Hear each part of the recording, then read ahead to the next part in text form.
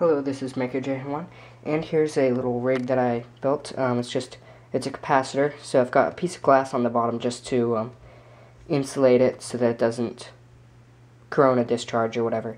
So then I have another piece of aluminum on top of that, and then a piece of plexiglass. Now I, and then I have another piece of aluminum on top of that. So this piece here is connected to ground through this wire, and then this one would be the high voltage, the middle one there, or the bottom one. So I have the piece of plexiglass just because it's a little bit thinner and I get a better um, better charge with the plexiglass.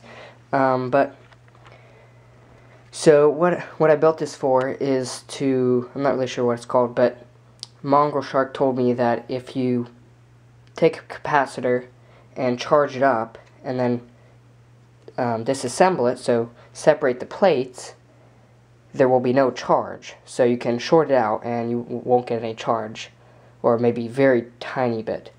But then if you put them back together, you can have a, a still some energy left in it.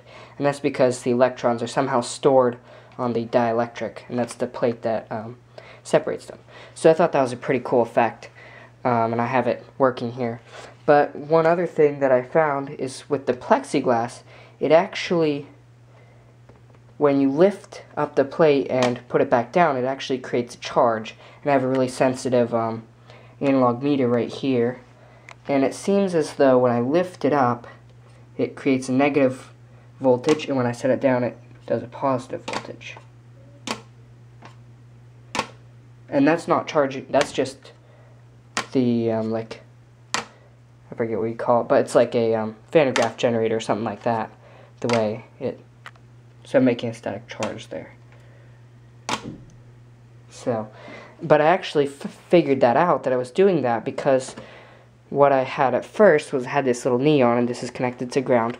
When you connect this up to here, the neon would actually, let's set the camera down here first.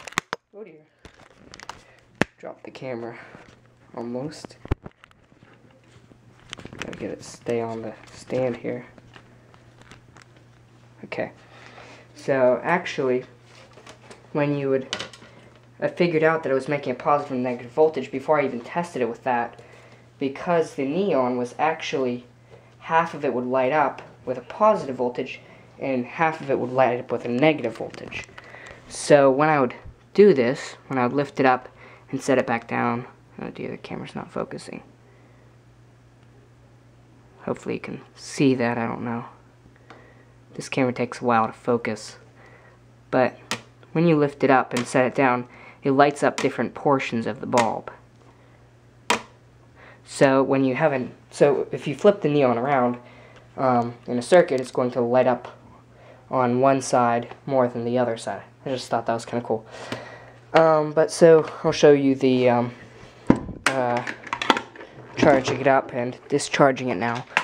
So let me set this up here. Okay, so we'll turn on the 5 volt power supply, charge it up, and I have it on 5 volts, so that's not very good. So it's not real big, because if I have it on 12 volts, it arcs over. It jumps from there to there. So we'll just charge it up, and I'll show you what the um, arc looks like, or what the neon when I So, little spark there. Okay. So, okay, so we'll charge it up. Okay, we'll turn off the power supply. Put that down here. And then we can, and it actually sticks there. It's kind of hard to get it to peel off. So that's separated. So I'll just set the ground plate over here for now. We'll take this and there won't be any charge in it. There's no charge in it. Um, and then if we take the plate and we put it back on, it sticks. It sticks to the, and should have a charge. There we go, little spark. Hopefully you can see that on the camera. I'll do it one more time. So we turn on the power supply. Whoop, oh, having a short over here. So charge it up. Turn off, whoa, got shocked there. Turn off the power supply, and then lift up the plate, put it back down. So yeah, it sticks still. So that's how you kind of know that you have a charge still left in it. Um, and then we'll have a little spark. So yeah, I thought that was pretty cool. Um, thank you to Mongrel Shark for um, posting that comment. Um, so yeah, go check out his channel. Um, so yeah, I just thought that was a pretty cool effect. Um, I do want to try, um, instead of using the plexiglasses for the dielectric, I want to try oil because if the electrons are actually getting stored on the dielectric, and if I use oil, I'm thinking that the oil won't separate the electrons and they should be able to move around. So if I take the dielectric out of the oil, or I mean the um, um, the plate, one of the plates out of the oil, then put it back in, there shouldn't still be a charge left in, but I'm not sure. Um, so if anybody has a, anything to say about that, um, post it. Um, I also just got some alum today, so I should be able to, uh, so I'm going to make some uh, lead batteries, um, lead alum batteries sometime, so that should be cool. Um, so yeah, thanks for watching.